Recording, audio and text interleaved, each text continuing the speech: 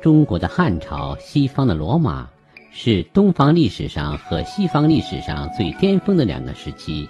在我国的春秋时期，罗马建立了共和国，而后经过漫长的发展，在西汉末年，由最初的罗马共和国演变成为了罗马帝国。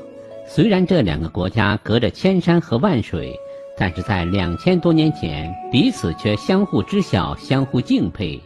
我国史书称赞罗马为大秦，罗马贵族以穿汉朝的丝绸衣服为荣。有意思的是，最近网络上有一篇关于汉朝和罗马孰强孰弱、双方开战结局设想的帖子，世界各地的网民均对此展开了热烈的讨论。尤其是国外一些网动大开的网民，其评论让人觉得相当意外。比如支持汉朝取证的。八字解读人生，风水改变命运。大家好，居士从业风水二十六年，很多人通过我的调节都获得了巨大成功。针对八字测算、风水布局、命理分析、事业财运、手相面相、感情婚姻，有独到专研见解。如果你的财运不佳、情感不顺、诸事烦心，原主可添加本居士微信二六六八二一三五，一一帮你调节化解。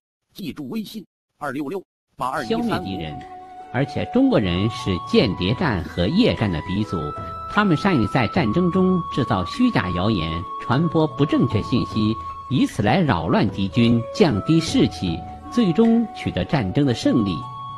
而支持罗马取胜的外国网民则认为，罗马拥有更短的战争补给线，汉朝的军队需要徒步挺进。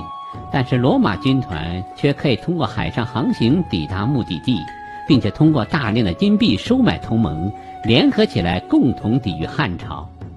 二战时期，弹丸小国日本控制了中国大部分的领土，说明了中国人存在忠诚问题。所以，罗马人完全可以采取这种方式收买对方的将领，从而取得战争胜利。